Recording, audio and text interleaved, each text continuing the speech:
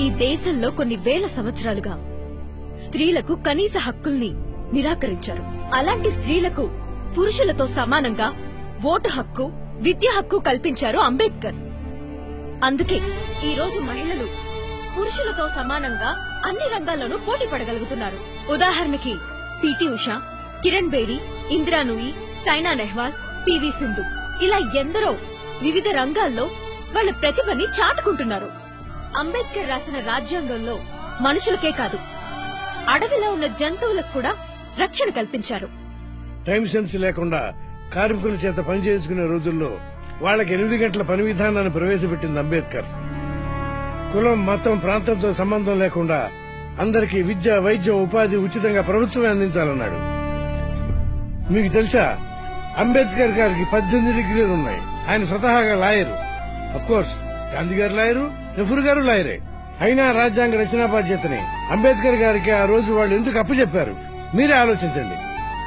అంబేద్కర్ కల్పించిన రిజర్వేషన్లు వెనుకబడిన వర్గాలకు ఉపయోగపడ్డాయి. కానీ అగ్రవర్ణాల్లో ఉన్న పేదల సంగతి ఏంటి డియర్ ఫ్రెండ్ ఈ ప్రశ్నకి నేను సమాధానం చెప్తాను. రిజర్వేషన్ అనేది పేదరికాన్ని నిర్మూలించే పథకం కాదు.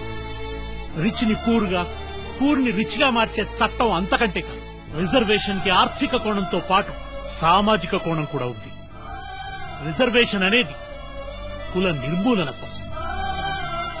కొందరు అపోహపడుతున్నట్టు అగ్రవర్ణాల్లో పేదలుండటానికి రిజర్వేషన్ కారణం కాదు. అగ్రవర్ణాల్లో ప్రతిభావంతులుంటే వాళ్ళకు అవకాశాలు కల్పించాల్సిన బాధ్యత ప్రభుత్వాన్ని పేదరికం ఏ రూపంలో ఉన్నా దాన్ని రూపుమాపాలని అంబేద్కర్ రాజ్యాంగంలో స్పష్టంగా చెప్పారు. కానీ ఆ బాధ్యత నుంచి ప్రభుత్వాలు చాలా తెలివిగా తప్పించుకుంటున్నాయి.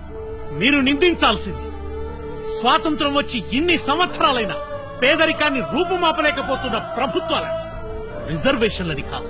అంబేద్కర్ కొన్ని వర్గాలను దృష్టిలో పెట్టుకుని రాజ్యాంగాన్ని రాయడం ఎంతవరకు కరెక్ట్ అంటారు? మీరు ఇలాంటి అపోహల నుండి బయటపడాలంటే ముందు రాజ్యాంగాన్ని చదవండి. అప్పుడే మన మనసులో ఉన్న బూజు పటాపంచలవుతుంది. ప్రతి ఇంట్లో భగవద్గీత బైబిల్ ఖురాన్ పక్కన రాజ్యాంగానికి కూడా కాస్త చోటు ఇవ్వండి సర్వమానవ శ్రేయస్సుని సకల జనుల రక్షణని కోరిన అంబేద్కర్ కొందరి వాడు కాదు అందరి వాడని మీకే అర్థమవుతుంది. ఈ దేశంలో ప్రజలు ఎలా నడవాలో ఎలా బ్రతకాలో చెప్పేది రాజ్యాంగం మాత్రమే. ప్రతిరోజు గంటలు గంటలు రాశి ఫలాలు వాస్తు శాస్త్రాల గురించి చూపించే మీ మీడియా వాళ్ళు.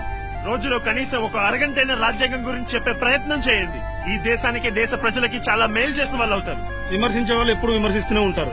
మనది ప్రపంచంలోనే గొప్ప ప్రజాస్వామ్య దేశం. మన దేశ సంస్కృతిని సాంప్రదాయాల్ని విదేశీయులు కూడా అనుసరిస్తున్నారు. మరి దీనికి ఏమంటారు? ఈ దేశంలో ప్రతి మనిషికి ఒక కులం ఉంది. కానీ మానవత్వం కోసం వెతకాలి ఈ దేశంలో ప్రతి రాష్ట్రానికి ఒక ప్రభుత్వం ఉంది. కానీ ప్రజాస్వామ్యం కోసం వెతకాలి. ఈ దేశంలో ప్రతి ఇంటికి ఒక స్త్రీ ఉంది కానీ స్త్రీ రక్షణ కోసం వెతకాలి. ఈ దేశంలో డెబ్బై ఏళ్ళ స్వేచ్ఛ స్వాతంత్రాలు ఉన్నాయి. కానీ కనీస మానవ హక్కుల కోసం వెతకాలి.